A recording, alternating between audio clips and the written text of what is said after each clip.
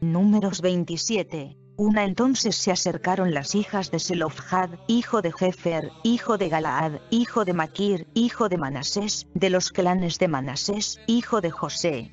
Se llamaban las hijas. Mahla, Noah, Jogla, Milca y Tirsa. Dos se presentaron a Moisés y al sacerdote Eleazar, a los principales y a toda la comunidad, a la entrada de la tienda del encuentro, y dijeron, Tres nuestro padre murió en el desierto.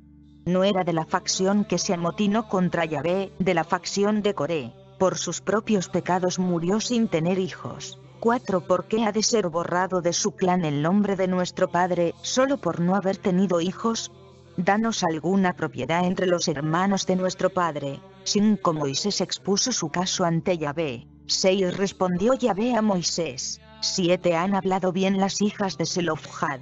Dales, pues, en propiedad una heredad entre los hermanos de su padre. Traspásales a ellas la herencia de su padre. 8. Y dirás a los israelitas. Si un hombre muere y no tiene ningún hijo, traspasará su herencia a su hija. 9. Si tampoco tiene hija, daréis la herencia a sus hermanos. 10. Si tampoco tiene hermanos, daréis la herencia a los hermanos de su padre. 11. Y si su padre no tenía hermanos, daréis la herencia al pariente más próximo de su clan, el cual tomará posesión de ella.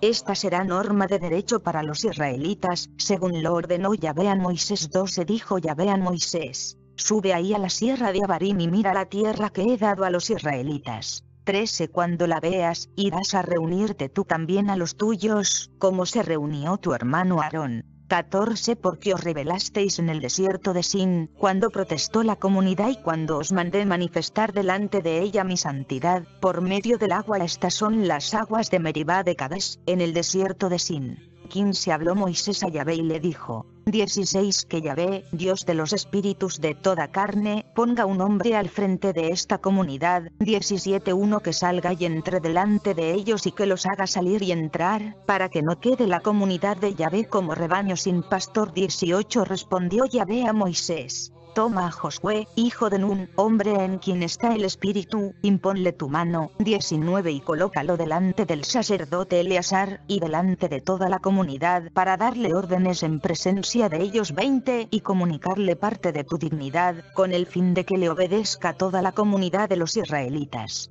21 que se presente al sacerdote Eleazar, y que éste consulte acerca de él, según el rito del Urim, delante de Yahvé.